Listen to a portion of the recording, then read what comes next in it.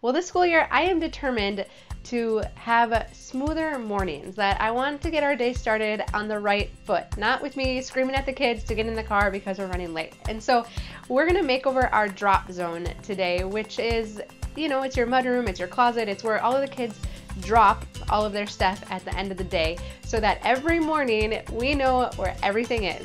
I'll show you our drop zone coming up next and a few tips for success.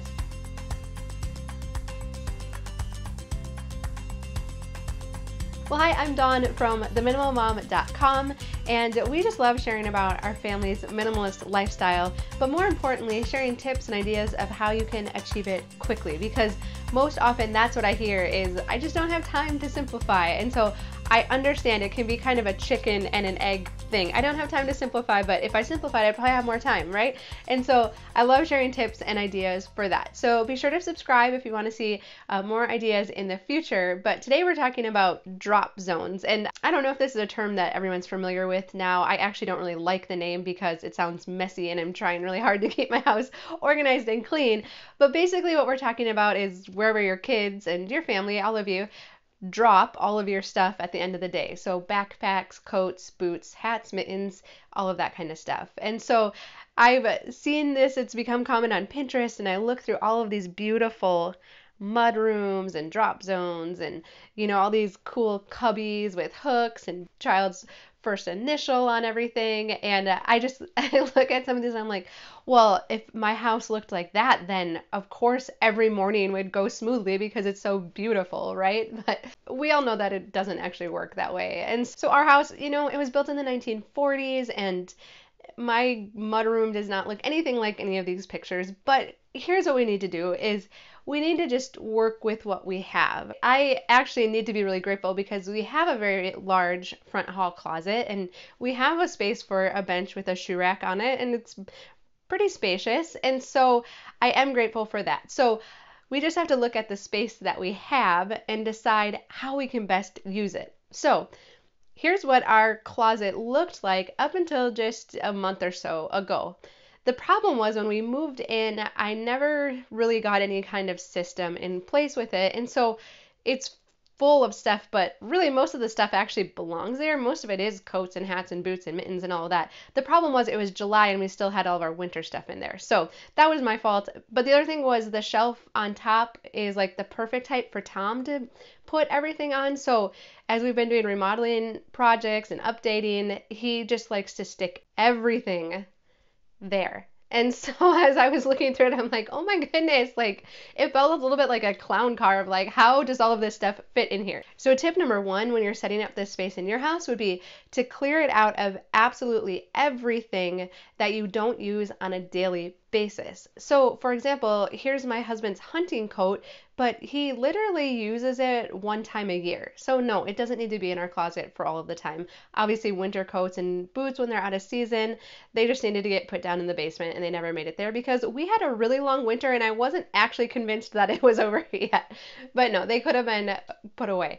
But go through and just pull out everything that doesn't belong in there because we need to have space for our daily stuff and we don't want stuff crammed in there. We want it, you know, we want space. We want it to function well and not feel like we have to push stuff in and then slam the door shut behind it. And so we really want to just get down to the stuff we use every day. Even some of our coats that are like maybe a dressier coat or just for really cold weather, those I moved to our closet in our bedroom because again, if we're not using it every day, I can walk all the way to our bedroom to get a coat. You know, like we can't be silly here. And so I know a lot of times we put off projects like this because we think it's going to take a lot of time.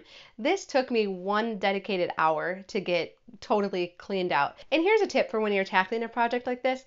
When I pulled stuff out, as soon as I had enough to like either bring to the garage or the basement or a bedroom, I would take it directly there because there's nothing worse than getting everything pulled out and your closet looks great and then you look the other way and you're like, "Oh my goodness, but my dining room's a disaster." And that feels overwhelming. So deal with the stuff as you go. And have a donation bin handy, right? There's going to be stuff in there that we just don't need anymore. And you know, if if it doesn't belong in the closet, we don't really have a good place for it elsewhere in the house we probably don't need it. So let's get the donation bin going as well. Okay, so step number two. Now that we have it cleared out, we need to make sure that everything has a place. And so coats need to have a place to go, mittens and hats if you live in that kind of climate, boots and shoes and anything else that you use on a daily basis. It needs to have a place to go. So here you can see we have a bin for the boys' hats and mittens, we have a bin for the girls' hats and mittens, and then up here these are for extra shoes. And so the girls have a bin that they put extra shoes in, and then for the boys I also put their dress shoes in there so that they don't wear them outside to play or anything like that. And then up here we have bins for baseball hats, um, stuff that needs to be returned to other people. These obviously are just bins from the dollar store. It doesn't look beautiful like, you know, on the Pinterest boards, but it was economical. And I've also learned that when I clear off a shelf like this, if someone in my family, like my husband, does have a tendency to fill it back up as soon as they see it empty, I do like putting bins like this up there to help deter from that. And we've definitely found that hooks work way better than a rod. So if you have a closet rod in there right now and you have to put coats on hangers, that just doesn't happen, right? It just takes too long, especially for little kids. So you can just go ahead, either take out the rod or leave it in and just put hooks behind it as well. And then we also have our shoe bench. This is from IKEA. We've had it for five years. It has held up incredibly well. I would buy this bench over and over again easily accommodates two pairs of shoes for each of the kids. That's what they're allowed to have out at any given time. Usually I have a pair of flip flops on there too, but it works really well. I like that there's no cubbies to clean out, that dirt just falls through to the bottom, so it's easy to clean up and sweep underneath.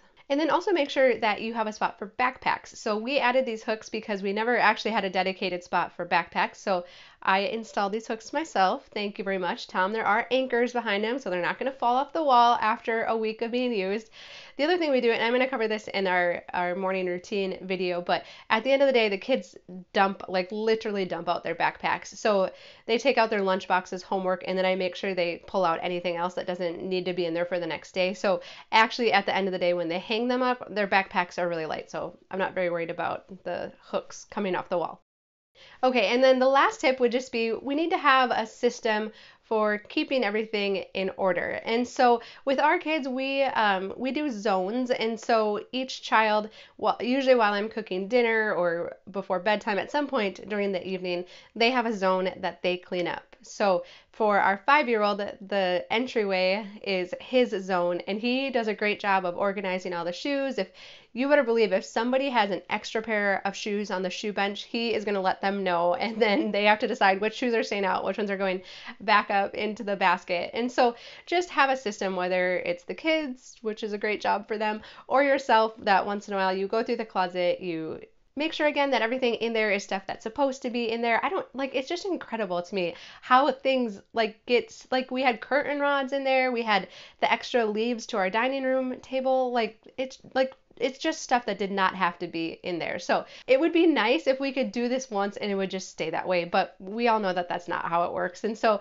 have some kind of system where you just go through it occasionally to make sure that it's all the right stuff. All right, so it's back to school time right now for us, but when I don't know when you're watching this, but I would say any time of year it's worthwhile if you feel like your closet or drop zone or whatever you want to call it has gotten a little bit out of control. Take an hour. You would be amazed at how much you could get done. So coming up next, we're going to talk about how to make school mornings go a little bit smoother, as well as planning your fall calendar and how many activities should our kids be in let's talk about that too. So you'll find links to those videos down below. And then once we get through this back to school series, we're gonna pick up with our toys series and talk about how we organize art supplies and how much do we keep and bathtub toys. So there's more videos coming on that as well. So be sure to subscribe and as always, the best compliment you can give us is a thumbs up.